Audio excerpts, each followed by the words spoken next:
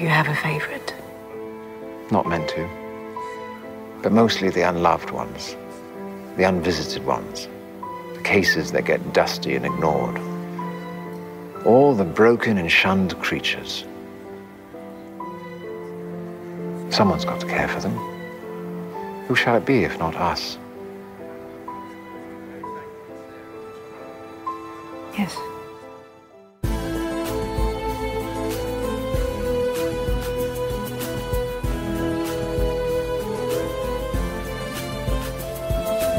Welcome to Rune Soup, a weekly podcast about magic, culture, and the very best new and old ideas for living in this world.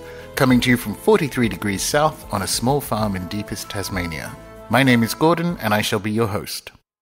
This week, we welcome to the show fellow podcaster Laura London. Laura has a background in neuroscience, Kundalini yoga, transcendental meditation, and astrology.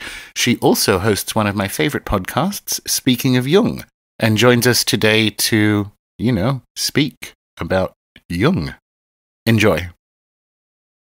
Laura London, welcome aboard. Hi, Gordon. Thanks so much for having me. I appreciate your interest. Oh, absolutely. Um, you have a fantastic name, by the way. It's like something out of a spy I? novel. I think Laura London. It's it's a, it's a hero in like a 1930s 40s spy novel for sure. Oh, oh, well, thank you. It's my name. That's great. Well, speaking of name, it um, Yeah. it must have come with uh, with a child at some point, and that will bring us to our traditional first question, Laura. Oh, Were you a weird kid? yes. Very weird. Um, and I I have a very strong sensation function, and so I'm going to talk about what I was like on the outside. I have wild, frizzy, curly hair, and right now it is keratin treated, so it's straightened.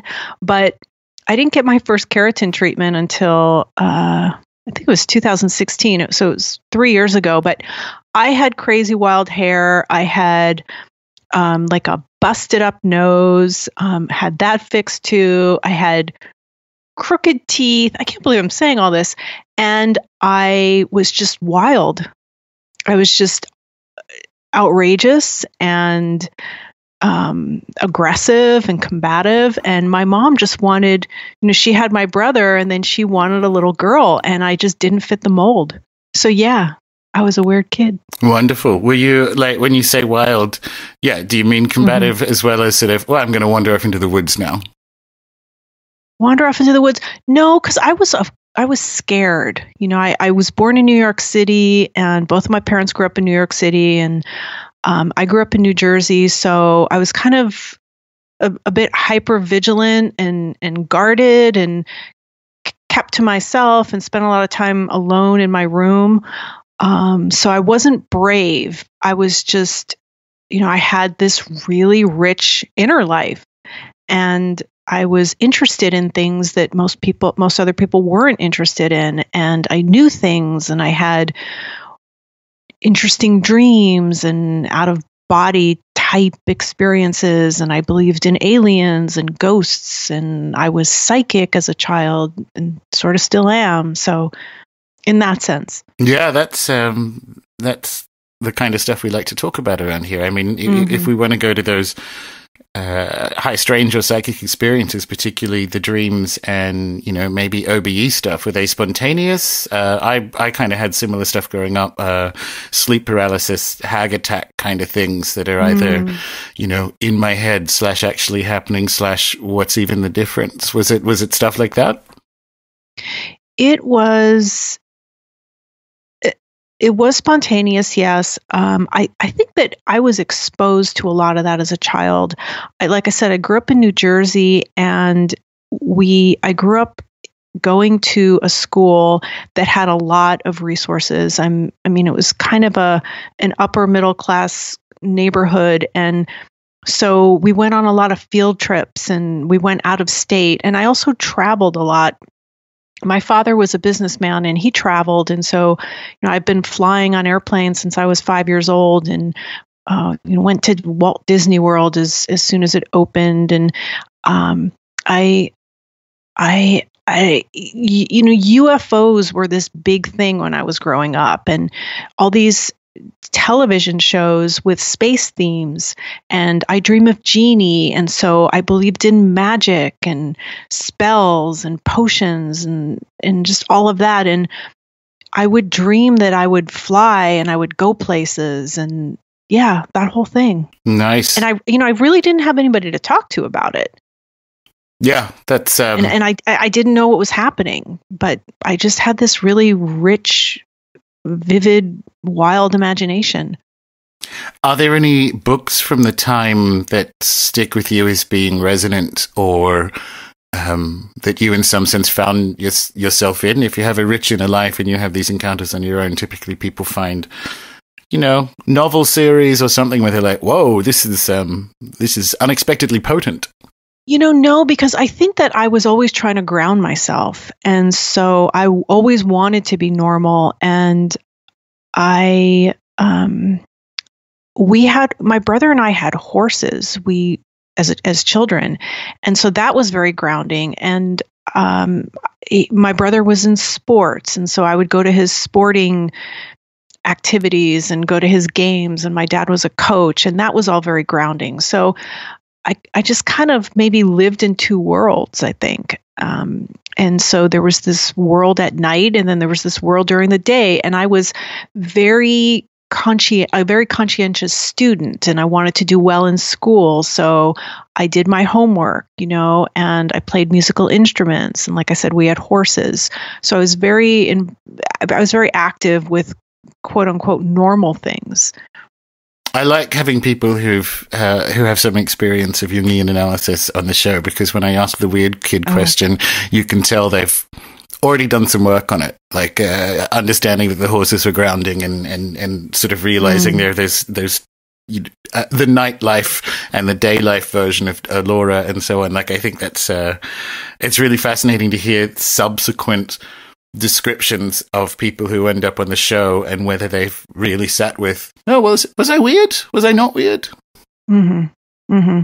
Yeah, and to this day, I use sports to ground myself. Um, involved in sports, and I, I, I had just last week. Um, in fact, it was a week ago today. I had this big furniture delivery, and it was snowing, and these two goons. I'm sorry, but they were rough, and they were speaking in some language I couldn't quite put my finger on and they were ignoring me and they were dirty and messy and it, it, a whole long story but i kept a sports radio station on on my ipad the entire time they were here because i was i would have lost my mind um, at just how inconsiderate they were and i just knew that i needed to stay calm and instead of see i'm not typical instead of putting on some new age music or some harp music or do you know what I mean? Something yeah, yeah, like yeah. that. Chanting.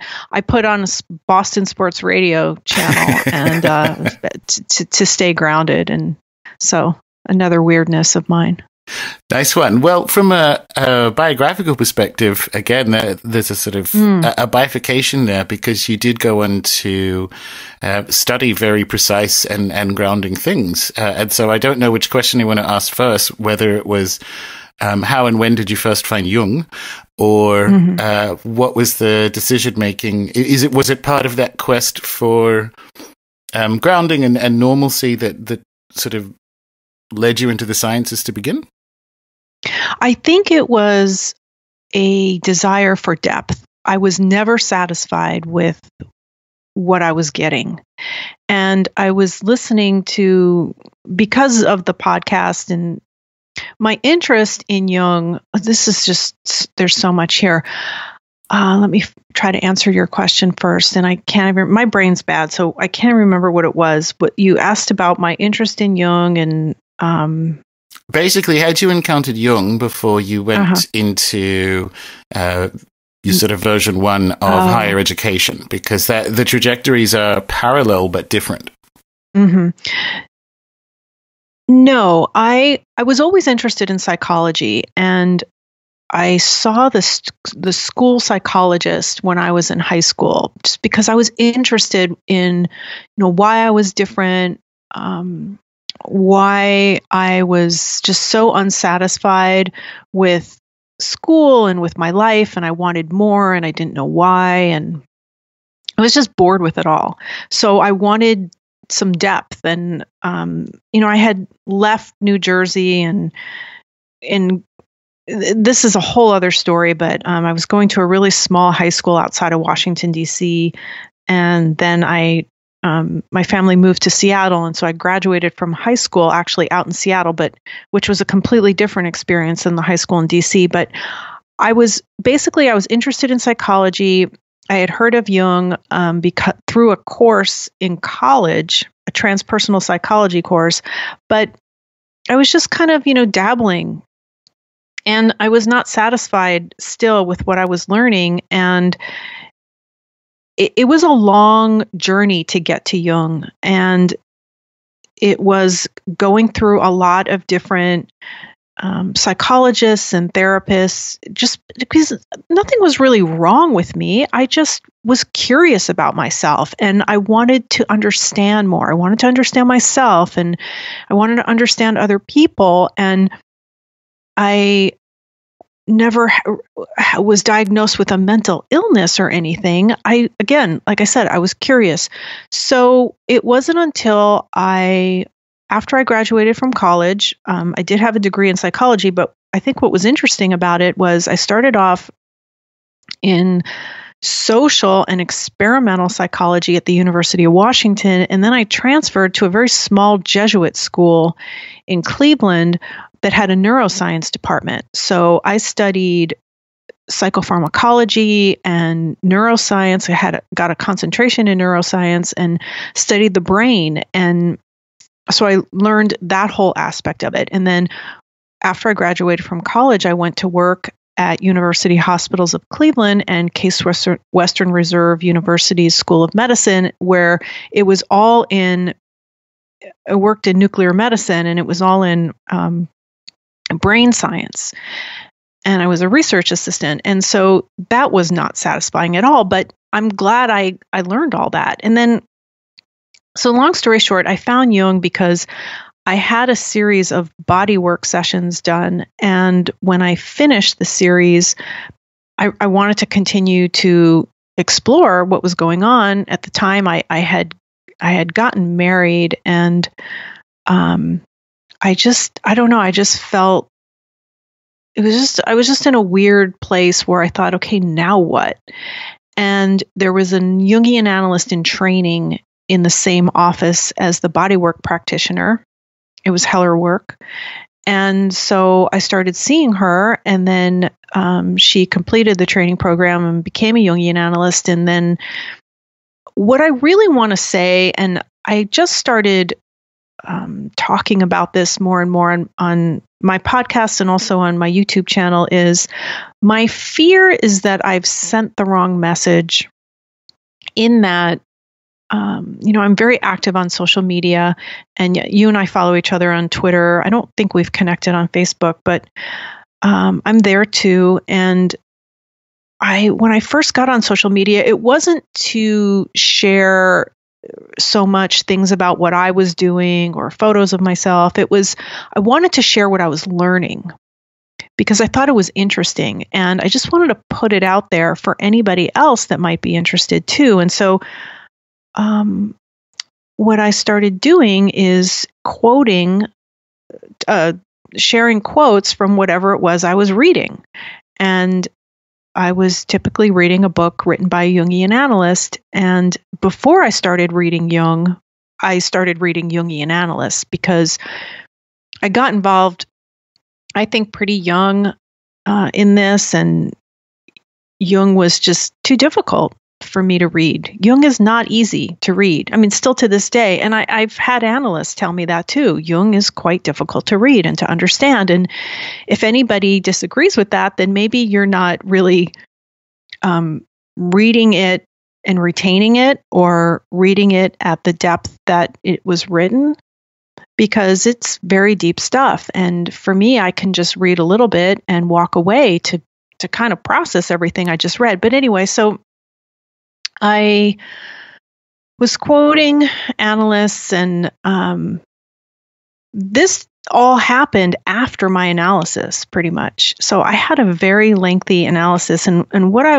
what i wanted to say was that um, what's come out after um, you know because i've learned a lot in the three has it been three years that i've been doing the podcast? Almost four. I started in 2015 it was in the fall of 2015 and so um, what I've learned since then is that there's really two different things going on here. There is the experience of Jung, right? And what goes on in analysis, in analysis, the relationship of the analysand and the analyst, that is very important. And then reading Jung and understanding Jung intellectually is kind of something else entirely. And I've had just the past few episodes I've done, I've been discussing this more with the analysts about does this help or hurt when we're in analysis? And it's not necessary to understand Jung when you're in analysis, and it, it, can be a bit of a hindrance. So, anyway, this all came about my my deep um, and and uh, kind of what do I want to say? The, all this in-depth reading, you know, acquiring the collected works and the two-volume set of letters, and all of these, all just all of these other pieces of Jung, and then all of these books by analysts. I mean, I just have so many now. Um, ha- came after my analysis, so I kind of like want to understand what I went through I don't even remember what your question was. No, I'm sorry. No, that was this is fascinating because I, I, have noticed, and you started off saying you've observed some concerns when you began sharing things, um, and and I I really like this. And on a recent mm-hmm. episode, mm-hmm. you said being. Uh, I've decided to be extremely precise with when I'm using quotations from analysts or especially Jung because you've seen stuff attributed to him that isn't his yeah. for a start. Yeah. And I'm just wondering if that, because funnily enough, this is one of the conversations I want to have, which is, uh, are there different Jungs and, and is it okay or, or what are the implications for Jung as a, um, published phenomenon and philosopher or metaphysician as well as being right. a clinician, is it okay for that to uh, get away from? Uh, this makes it sound more negative than I mean it. Is it okay, okay for them to get away? Is it okay for Jung to jailbreak itself from an analytical context because we've had the 20th century where Jung belongs with the analysts, and in particular, as more and more books come out and, and post Red Book and so on, there's now Jung um, available to all as specifically a published metaphysical phenomenon, and and I'm very interested in not who owns him, but like, are there two yeah. Jungs? Do you know what I mean? Yeah, and there was a conference called Who's Jung, and uh, that was a group of analysts talking about that that that very thing. And I haven't uh, gotten into that yet as far as I would like to. I've been trying. What I'd like people to know is that just because an analyst has not been on my podcast doesn't mean I haven't tried to get them. Yeah. Some of them. Oh, I feel res- that. Yeah. Right? Some of them, I just want to go on record here. Some of them don't respond at all to me. Some of them say yes and then disappear and some of them say no. Not a lot say no. Most of them that the instead of saying no, they just won't respond. But there are a handful of names that people would know who have said yes and now won't re- won't return my email. And that could be a reflection of me. It could be that it could be a lot of things. Yes, it definitely so, could. Right. So I do want to talk to some of those analysts that were at that conference and uh, that may be happening. So, as far as Jung is concerned, I mean, it is, I get overwhelmed every day. And going back to what you said about the quotes, I can't stand seeing quotes attributed to Jung without a citation. And that's why now I will always have a citation now that on because I'm mostly on Twitter. Now that on Twitter there are more characters, they're double the amount. It used to be 140, now there's 280. I can include where I where the quote is from, and if it's not in that tweet, then I will thread it so that it is attached to a tweet that has the citation. Um, but yeah, what I had said on my podcast is I saw someone that I follow um, quote Jung, and this person is not a Jungian. And I was happy and I read it and I thought, I like that quote, but I don't think he said that. So I searched through the collected works because I have the digital edition, which is great because you can search it. And which I have that open right now in case we need something. And sure enough, I found something similar to that, but it was not exact and it was far enough away where I think it kind of changed the meaning. So that's why um, that's why I said that. And as far as analysts, well, Jung's not here anymore, and so we have we have his writings, and they're overwhelming. There's so many, and I always say this: most of what Jung wrote has not even been published yet, um, but that's ongoing through the Philemon Foundation and I think maybe even through others. So, yeah, it's important to me that it it's what he said and not some twisted version of what he said because it sounds witty or convenient.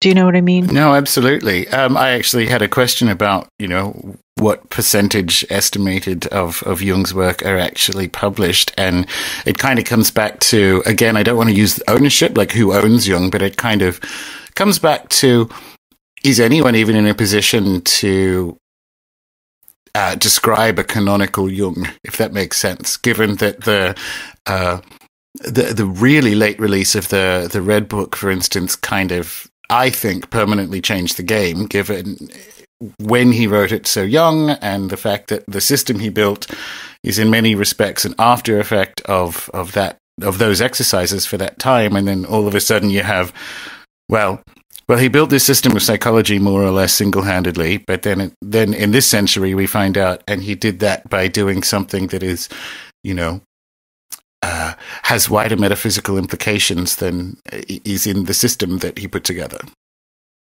I'm not sure what you mean by that. Oh, um, the the implications of the Red Book are, mm-hmm.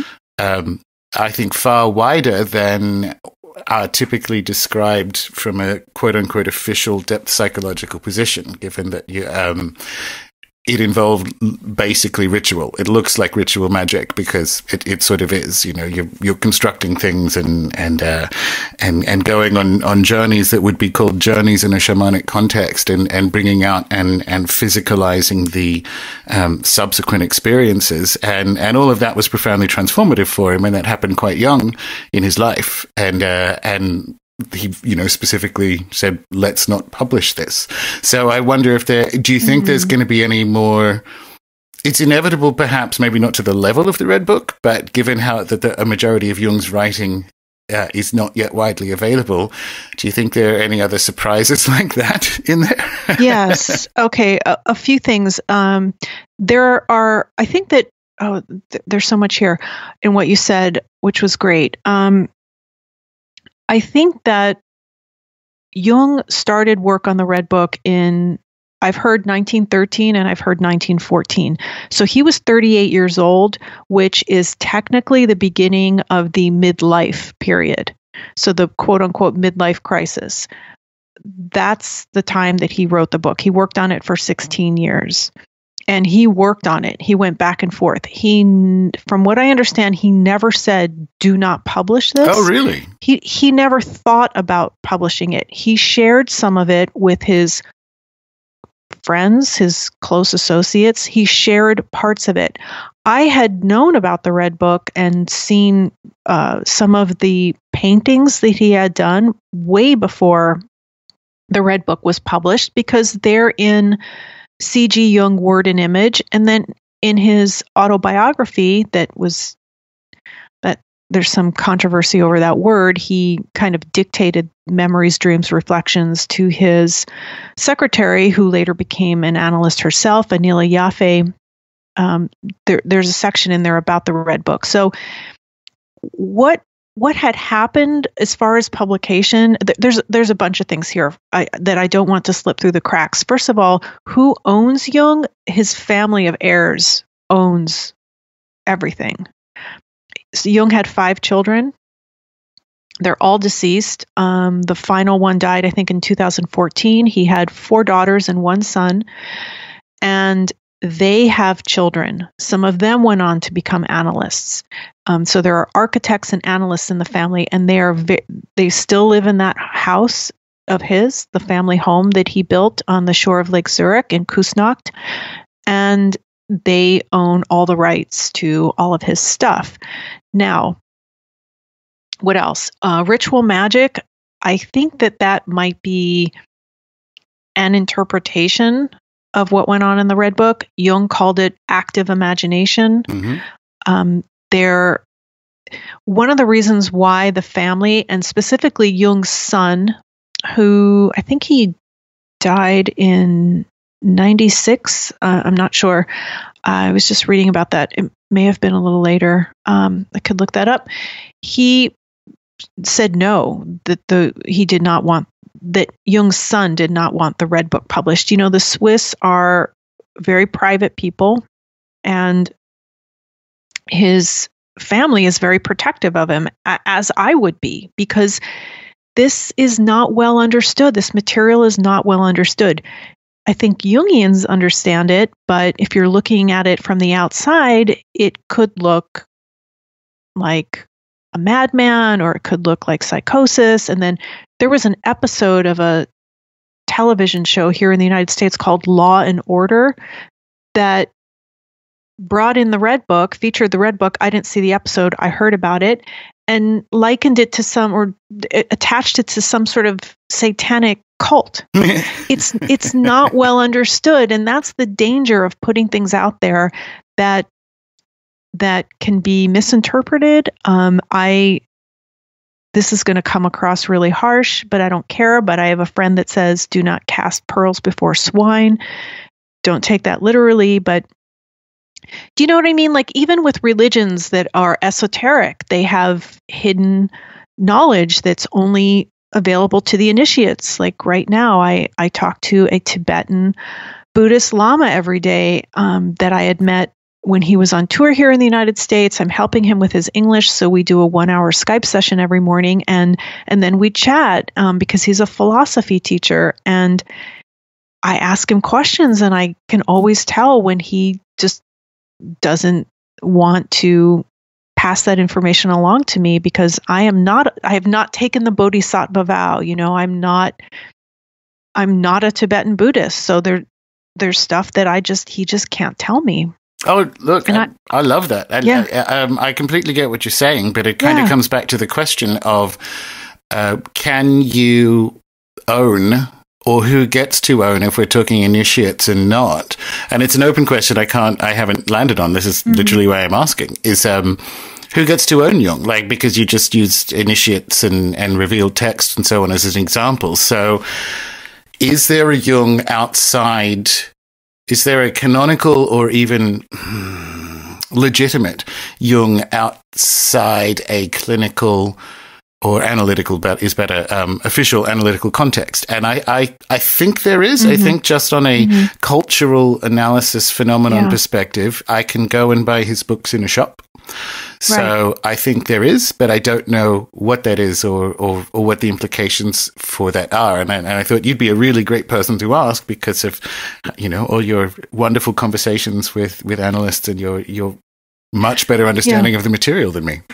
Well, I, I'm I still don't know that I know enough to answer your question, but I did go to Zurich because I wanted to I wanted, I, I needed to, I'm very big on face to face meeting and talking to people face to face and looking them in the eye and sitting down with them and having a meal with them. And I needed to do that. So I went to Zurich and I didn't get to go inside his house, but I went to his house. I was inside his office at the old C.G. Jung Institute, which is now the Psychological Club in Zurich. I met with its president he gave me a, a private tour. Uh, I sat with him. I talked to him. He showed me a lot of Jung's items, and and then I did.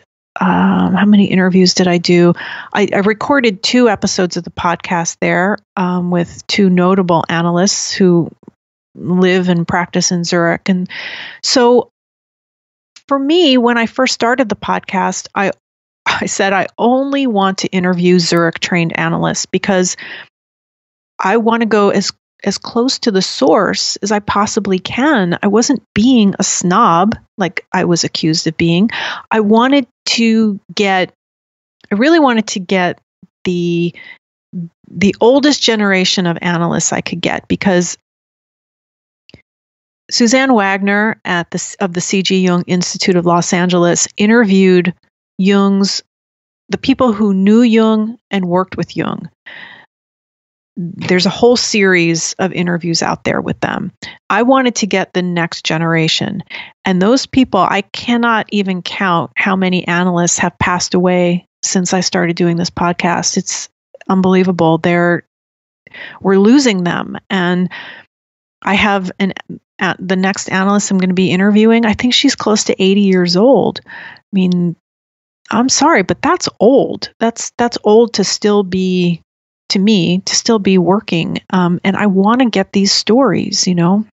Understood. So, so as far as who owns Jung, um, do you mean the interpretation of his material? Well, yeah, because if if I can go and buy the books and read them myself, and and I'm not in analysis, um, although if I I'd love to at some stage, but uh, if I can go and get the books and read them myself, yeah, what Jung is that? Do you know what I mean? And and this is this is a 21st yeah. century version. It's a 21st century publishing phenomenon. So he's in danger, which I think is remarkable, given that he's dead. He's in danger of kind of changing our understanding of our minds two centuries in a row, which no one has ever done before, because you know the 20th century, which is the one that he lived through most of, obviously from the 19th, mm-hmm. uh, and then all of a sudden. Um, the the wider interest in and the the affordability in many respects and increasing availability of, of Jung and the analyst books that you um, read and discuss on your show and, and so on means there is there's another one. Do you know what I mean? There's there's the there's Jung in an analytical context, and then there's Jung as yeah. a cultural. And I think right. about it from a postmodern perspective, but that has some form of legitimacy um, it's different, but I'm I'm very interested in what your opinions on. Well, how how does Jung in the wild? How do you feel about Jung in the in the cultural wild? I guess. I don't feel good about it because this is this is work at a very deep level and it's dangerous psychoanalysis is dangerous. When you are going into the unconscious and when you are working with an analyst and their unconscious is involved and your unconscious is involved, it's very dangerous. And that's why another reason why I started the podcast is to feature the work of Jungian analysts to show how they are different from pop psychologists, behavioral therapists, uh, counselors, do you know what I mean? Social workers. It's a very different thing. And it's not necessarily people who are in crisis who go to a Jungian analyst or have been diagnosed with something. It's about somebody that wants to go deeper because they're they know that there's more there. And I'm still now, only now, beginning to see the difference when you're in analysis, you're not talking about the anima and the animus and mm. what's my type. We didn't do any of that. I was in analysis for 17 years. And m- my analyst, she's, I think she's 70 years old now. She's still practicing. She's in Cleveland. And I've been asking her um, if I could do an episode of the podcast with her. We haven't done one yet. She just released a book last year, so I'd like her to come on and talk about that book. But we didn't talk about it. We didn't. She didn't use these terms, and because it, this is not a when you're in analysis, you're not talking about Jung's theories.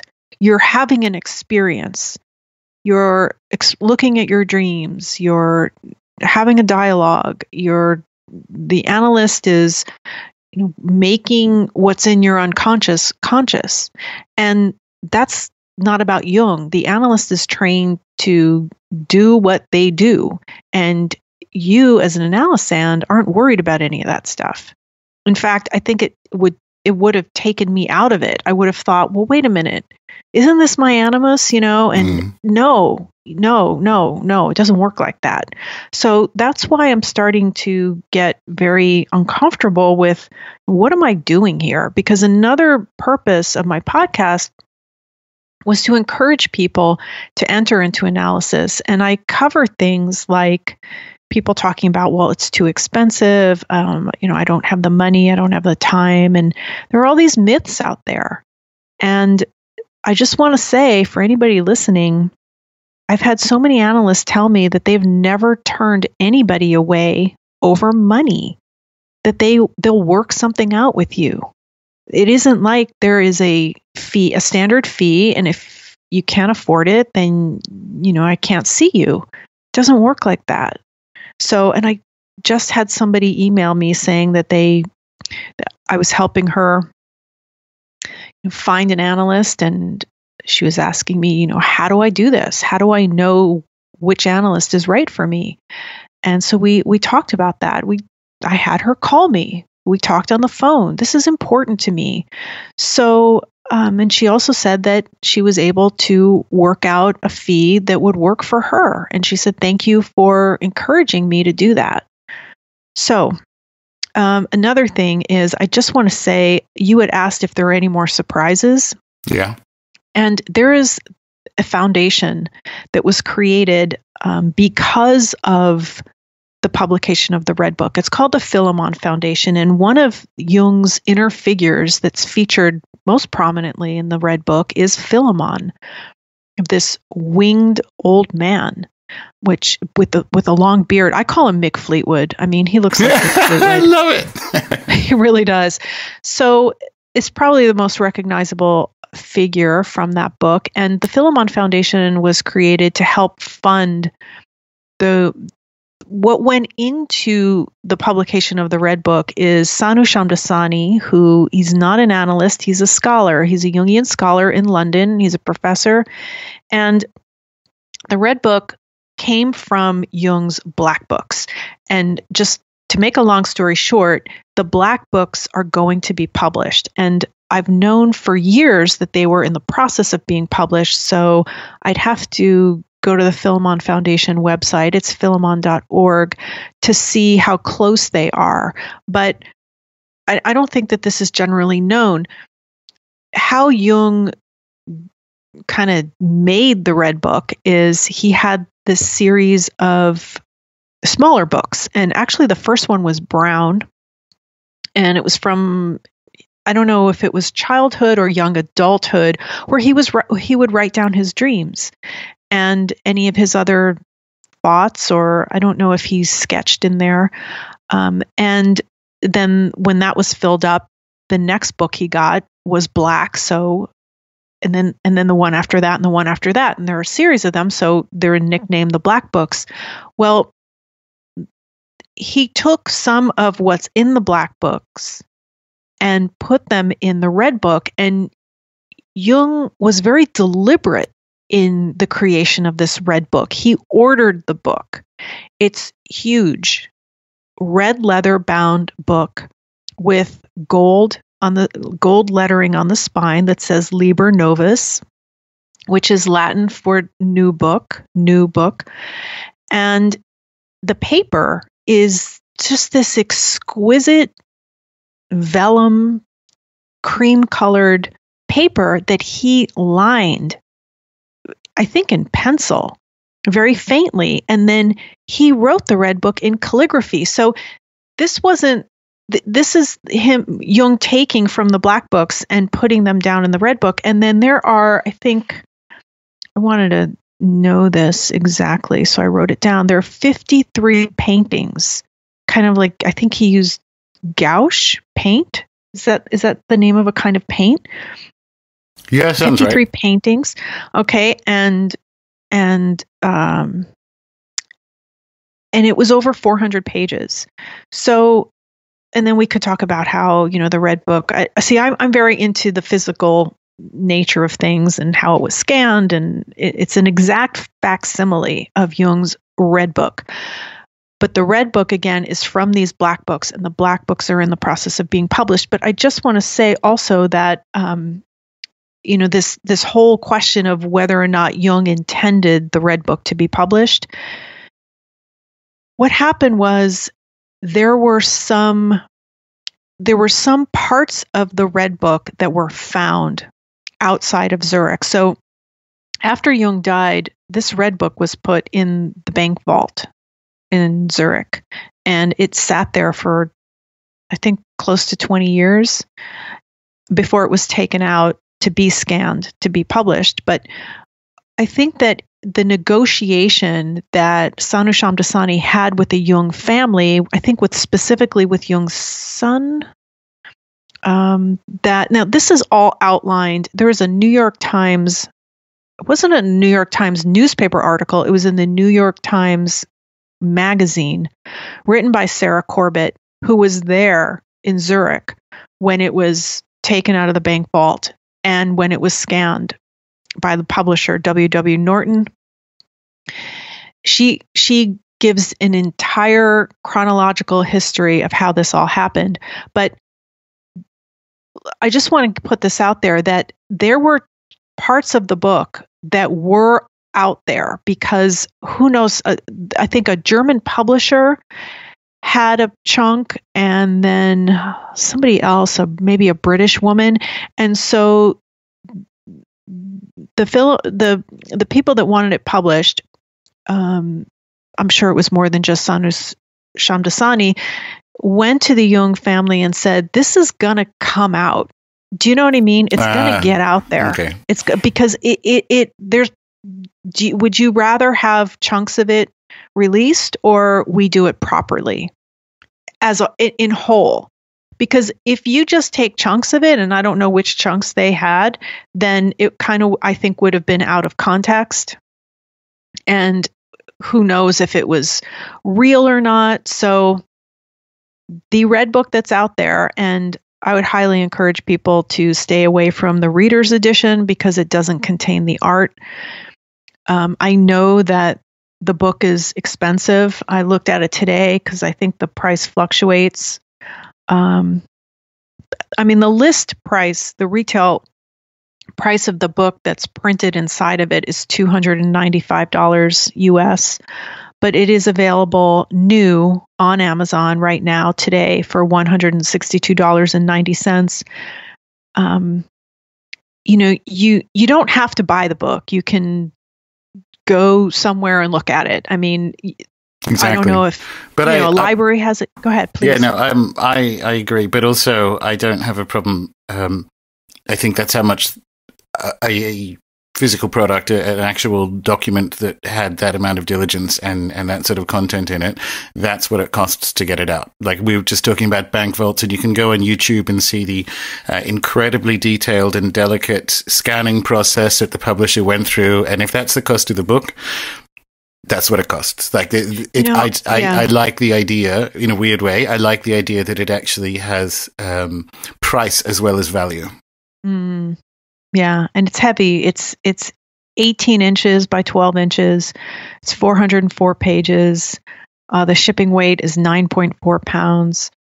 And I I, th- I think I, I mentioned that because I'm a little sensitive right now. I somebody had tweeted me and tagged some other people too that Jung's entire collected works is available from some illegitimate okay, illegitimate website got the PDF versions of all 20 volumes of Jung's collected works and put them out there.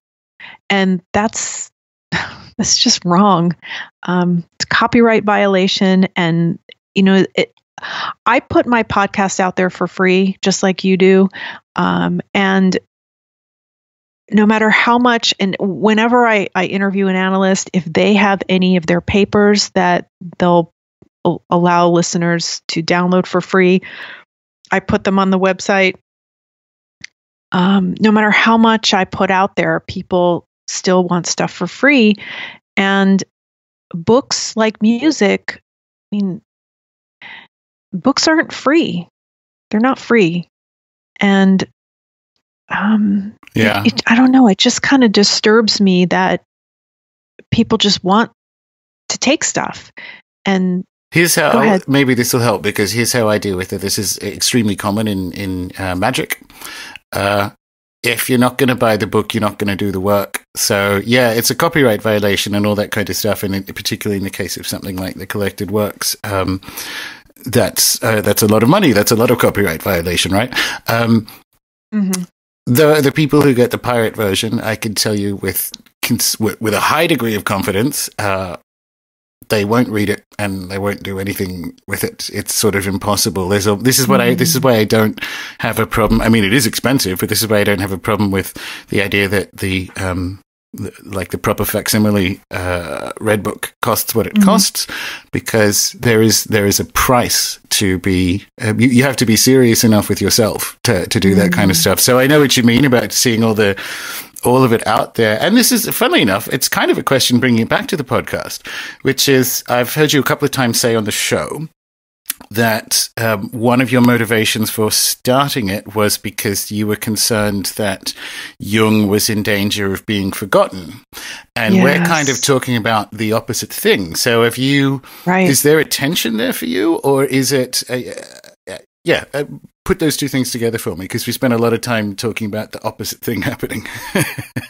Right. Well, I had heard that from analysts, and that in the beginning, when I told them about the podcast, that I was doing this, and when I was, th- this is before the podcast existed, and I was throwing the idea out there, and that's what they were telling me is that it seemed like Jung was being, I don't know if disappeared or forgotten, but watered down. And and and yes, disappeared and forgotten.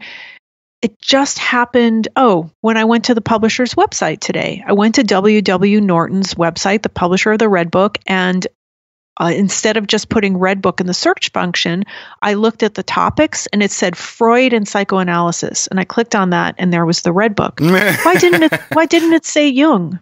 yeah. right? So there is just little things, you know, there's Freud everywhere. And I don't know any Freudian analysts. Mean, no, does anybody practice Freudian analysis anymore? But Freud's known and Jung isn't. And Jung is people, you know, see what Russell Brand walk down the street carrying a copy of the Red Book, and they associate it with Russell Brand and, and everything that he's about. They watch television law and order and says that you know this is the book of a satanic cult so and, and- i say this too jung is not for everyone.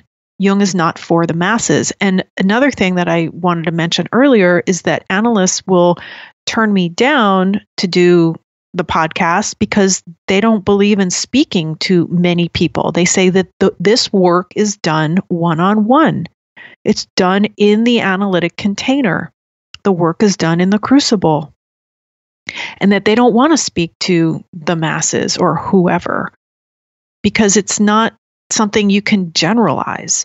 But th- again, there's this difference between Jung's theories and the work we do in analysis. It's different things. So, Jung being forgotten, I think that what Jung really said is being lost. And and here's why I say that. One of the analysts that I've interviewed three times, his and he, I can say his name because he's talked about it. His name is J. Gary Sparks. I've been to his home. He lives in Indianapolis, Indiana. I, we did our first episode together in person. He is the one who is saying that Jung isn't really being read that much in the analytic training programs. I mean, that's absurd. That's weird. I didn't know that.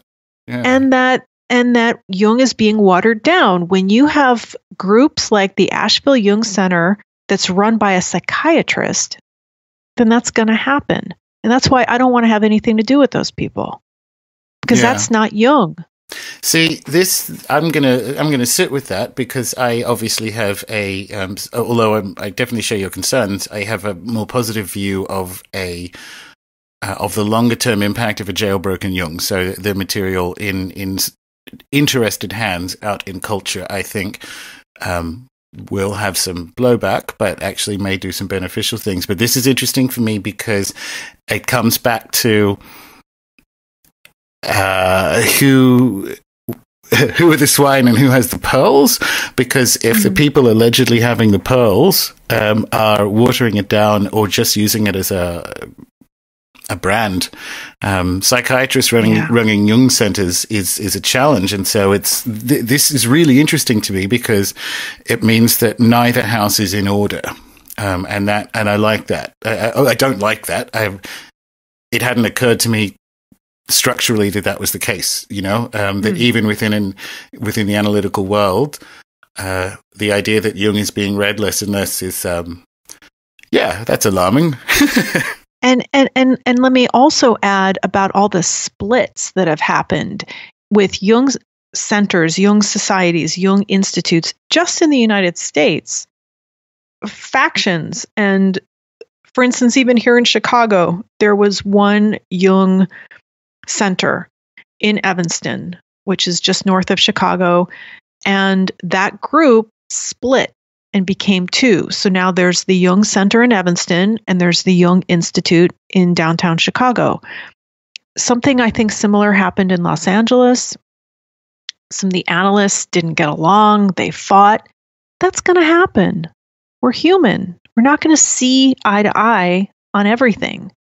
And then in Zurich, the Jung Institute, the C.G. Jung Institute, which was created in 1948, right? Some of the people there split and formed the Research and Training Center, according to C.G. Jung and Marie Louise von Franz, which is now a separate training institute. And then there's ISAP Zurich, the Institute uh, for the Study of Analytical Psychology, I think it's called. So there was a split even in Zurich. Yeah. Right. So they're going they have their own take on it and their own way of structuring things, and their own way of looking at things, and emphasizing some things and not others.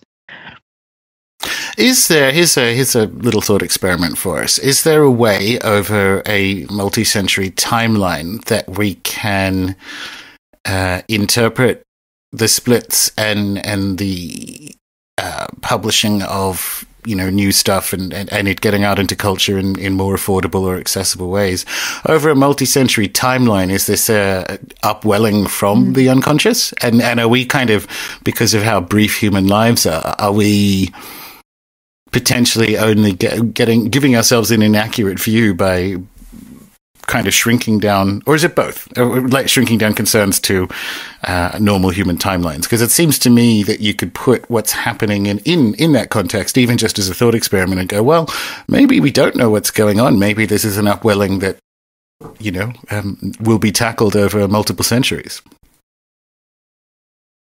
That I don't know how to answer. Fair yeah. enough. yeah, I just don't. That's way beyond my knowledge. I don't know. Um, so what else did you ask that I didn't answer? I'm just looking here. No, I, I think, think, that you go. Yeah, no, I just was going to say that I was never I never wanted to become a cl- clinician, and that's become clearer and clearer to me. Uh, just personally, I know why. Um, and I'm also not a Jung scholar. I I think that I'm most comfortable with, say, the work of James Hollis, who I've had on the podcast three times. I met him in 2001.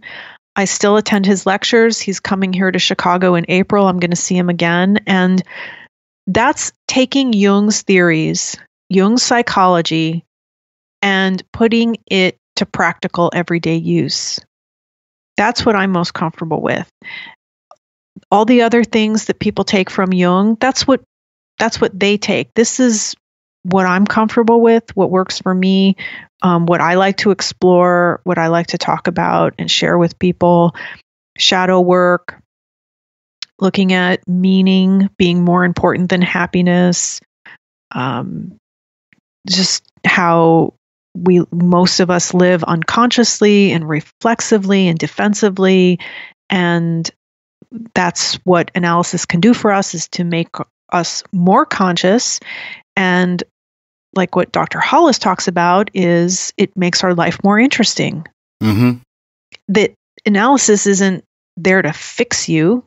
As analysts they don't fix us cure us right? So they they help us to just be more awake and more aware of ourselves. And my my um one of the things that I like to talk about is this myth of happiness. Dr. Hollis calls it the cult of happiness, and how that as a goal is pretty useless because it's we can have fleeting moments of happiness, but it's doesn't have any really any longevity that meaning meaning is more important than happiness because meaning has more durability so things like that. Yeah. that are not that are not so heady and not so you know studying Jung. Because if you read the collected works and it's fascinating and every I after talking to uh, Gary Sparks and also his friend James Shearer who I recently had on the podcast that's what they encourage the most is to read Jung. And so to get me to encourage me to remind me to read Jung every day, I do something on Twitter. Uh, I try to do it every day, and I don't. Called the random Jung quote of the day, where I just randomly open up the collected works or um, one of the volumes of letters or something else that was written by Jung, and just quote from it. The first thing I see Bibliomancy, Jungian bibliomancy. I like it. Exactly. Yes. Yes. And and then go from there. And so now I'm I'm I've taken it to Facebook too, where I have more room and I could maybe put the whole paragraph or two so that it has some context, because that's a tends to be a problem on Twitter is that there's not much room for context. But I mean, there, there's Jung. Gary Sparks says Jung, in theory, should not is a man so huge, so enormous that he shouldn't have, have existed, but he did. And I do get overwhelmed um, with there's just so much to him because then people look at his relationships, you know, and his wife and his his second wife or mistress. They look at that, and then um, his relationship with his children and his relationship with Freud and why he attracted so many women. And I'm saying, good thing he did attract a lot of women. Good thing he did because it got their attention. Mm. So, and, and that there are, that I've, you know, I've also been criticized for interviewing more men than women. Well,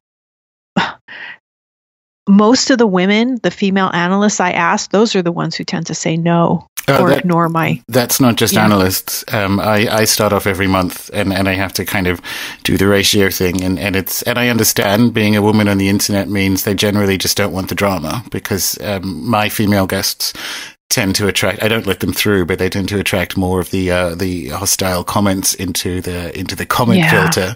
They get, they're a third of my guests and they get two thirds of the comments. So I completely understand why, it's a funny way of saying it, why women turn me down more than men. But, um, trust me, it's, Right. it's not just analysts. It's it's something you're um, to be congratulated for doing, which is simply being a woman on the internet. Mm. Well, and and I don't want to hide because then how am I going to have any credibility if I use a fake name and you know and then I get criticized for posting pictures of myself? Well, yeah, you you've got to be seen to be believed. absolutely, absolutely. Um, I, yeah, I fully get that. So this is you mentioned James Hollis. Uh, inevitably, when people talk about Jung, and I still think this is, with my limited knowledge, I still think this is correct. That the 1st way into reading Jung is the quote unquote um, autobiography, um, memories, dreams, reflections for people. Oh who are- yeah.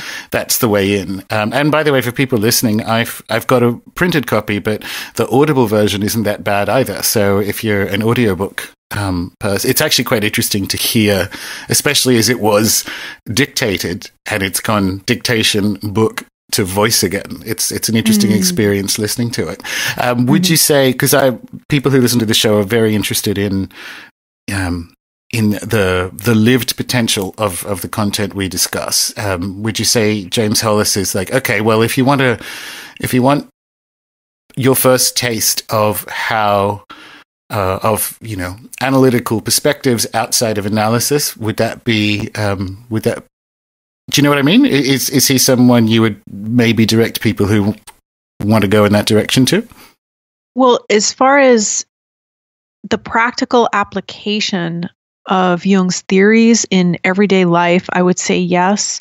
Sure. But but someone who knew Jung, I think, best and did a lot of writing was Marie Louise von Franz, who was a collaborator of his. She was she was 18 when she met him and she was with him till his death in 1961 and she's written a lot of books that are very readable she died in 1998 and so I, I would encourage people to read her books but as far as someone who's alive today um, i think james hollis I, I mean i would highly recommend and then marion woodman who passed away last year her that, that was the first thing I read was her book Addiction to Perfection, The Still Unravished Bride. Uh, that book, I mean, it's what completely shifted me.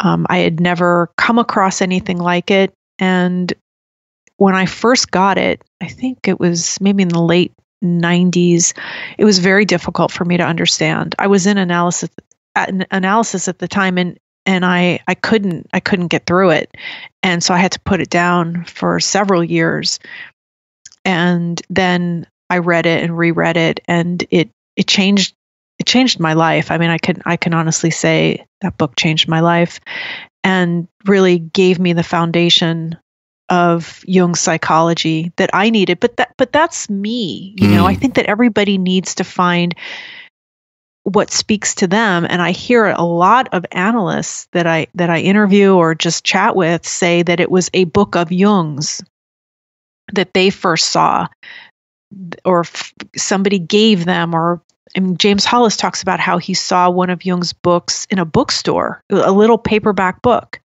and he bought it. And he like didn't have much money or something, and and and that changed everything for him because he was a professor, and I think he was an a English lit professor for many years before he became a Jungian analyst. So it's different for everyone and and, and find that this is yeah. one of the things let me just fanboy about the show so i have my weird kid question that i ask every time when i listen to your show i love hearing how the analysts you talk to uh, end up where they are because it is in every case it is Jungian. Like it's it's a book across a secondhand bookstore that for some reason resonated with them without at, at, to walk across the shop or whatever it happens to be. It, right. I, I, from we have guests like um, Dr. Jeff Kripal, who's um, oh yeah chair of religion and, and very interested mm-hmm. in comparison. And I look at the stories or listen rather to the stories that your guests um, tell you about how they become analysts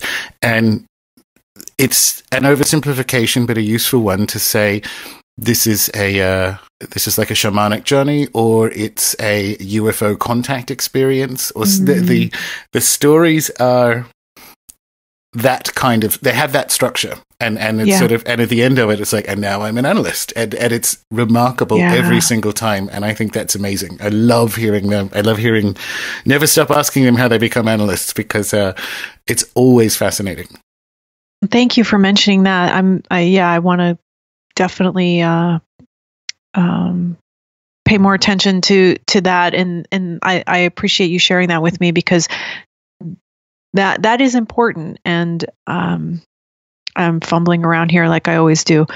I start going blank. I just I get overwhelmed with thoughts like I want to say this and I want to say that and it's just this jumbled mess and I'm not very articulate. I mean, I'm not you know, I'm not a clinician, I'm not a scholar, I'm not articulate, I'm not really much of anything, but interested and passionate about this. And I also really like to highlight that what it takes to become an analyst because one of the analysts said to me that uh, she had a friend ask her, Oh, so, you know, how do you? Uh, uh, uh most of them have uh, graduate degrees. You have to have a graduate degree in order to enter the training program. So you have to have either a master's or a PhD or an MD before you can be accepted by a training program to become a Jungian analyst. And so she had a friend, I don't know if she was a clinical psychologist or what, ask her, Oh, so this is just like a weekend course you take and to become an analyst? And she said, No, it took me seven years. And then they say, you know, forget it. And they don't bother. So these people who are Jungian analysts, the commitment and the time that they've put into this, I have so much respect mm. for. I know I couldn't do it. No, um, the recent guest name currently escapes me, who began as a dentist, and and, and so it's oh yeah, it's James a, Shearer. yeah, it's mm-hmm. a career change uh, and a huge one because he actually moved, you know, to Zurich, but and managed to become like or work as a dentist there, but like yeah. to, to, to leave, you know, the Midwest um, right. where you are a dentist. Uh, uh it's teeth and and Jung are not actually connected. That's brave. Right. That is so well, impressive. And, you know, when you yeah, and they talk about being called. You know, it's a calling, mm. and that's what the word vocation means. So it, it's it's almost where you get to the point where you you can't not you you, you have to do it. What do I want, want to say? You can't not do it. This is the shamanic structure. Um, this is what fascinates me about listening because you um, nobody chooses to be a shaman. That's because generally it's a terrible job, but um, nobody chooses it. It it, it chooses you, and yeah. and that that structural component. I I listen and and you see that in basically every case of of when you've asked a question that I can think of, which is it mm. chose them rather than you know they have an interest in it, sure, but it chose them, and and and especially as they warm up with you and they start telling you more of the um, this sort of the more extreme synchronicities that come along with that particular journey right. of transformation. That's the other structural shamanic bit that I look at from a comparative perspective. I'm not conflating shamans and analysts, but there is something profound in the implications of those um, structural similarities across cultures. Mm-hmm. And when I went through my analysis, I actually moved to a different city and did not want to break my excuse me my connection with my analyst so i drove two hours each way nice it, it, once a week to see her and i did that for years because i moved from cleveland ohio to columbus ohio which is about a two hour drive a little over two hours and and it was great because i could process mm. i could mm. get that the two hour drive there got me into that state where I was just, you know, with myself. I'm alone in the car. And it was just this this journey through the hills. And then when I left and then would ju- just drive straight home, I processed, you know, what we talked about. And I actually think that that was very beneficial. I didn't just get in the car and drive down the street and then jump back into work. So, and you think that I would have chosen that. I mean, I, I, I can't believe I did that. Mm. I can't mm. believe I was in analysis for that long. That's not exactly the life I wanted to live. but it, I had to. I had to. That was my my path. So. Well, Laura, um, speaking of, I'm I'm glad that was your path because it you know, it ended up with you as you are doing what you do today. And uh, and on that note, I mean, thank you so much. I'm a huge oh, fan of the show. Um, I'm, I'm, oh, I I'm, appreciate that. it's my one of my absolute favorite podcasts, and you are great on Twitter. So we should tell people about both of these things, where they can find you and and where they can find the show and and so on. Yeah, well, uh, the podcast can be found at Speaking of Jung com. You can stream it there on the website in your browser, or you can click on the download button and download it to your computer. It's also available on iTunes and all the other podcasting platforms. There's so many. and it seems like there's a new one every day that I never heard of. I don't know if that's legal. I don't know if I like it, but it's out there. So it's on Stitcher, Google Play, Podbean, all these other podcasting hosts. And I'm on Twitter as Jungian Laura. That is a long story of how I got that name. It's not my favorite, but it that's the name that came about back in 2010. So it is Jungian Laura. Um, also on Facebook, it's not a Facebook page. It's my Facebook account. I only accept friend requests from people I actually know. So you can follow me. So it's facebook.com slash speaking of Jung. I'm also on Instagram. Um, not much, but I'm there. And I'm on YouTube as well uh, under Jungian Laura. Wonderful. And all the links are on the website. Yeah, all those links are on the website speakingofjung.com. Yes, and, and they'll be in the show notes here as well. Thank you so much for having me. Thank you for your interest. Thank you for saying you love the podcast. I appreciate it so much, Gordon. And thank you very much for your time. You're very welcome.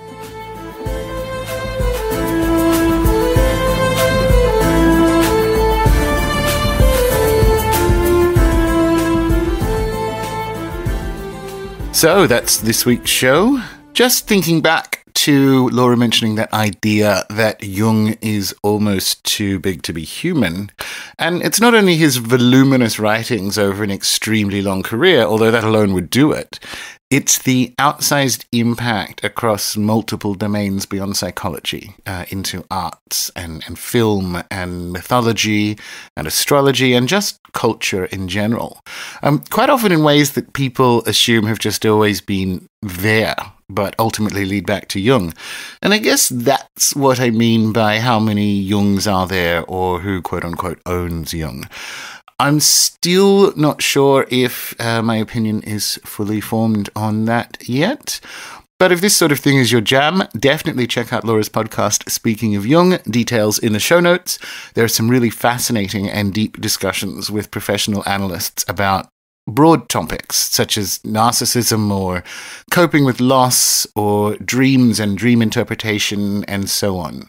And uh, and if this sort of thing is your jam, then please do share and subscribe to Rune Soup in your favorite podcatcher or on YouTube. Find us at runesoup.com or the Rune Soup Facebook page, and find me on Twitter where I am Gordon G O R D O N underscore White W H I T E. Until next time.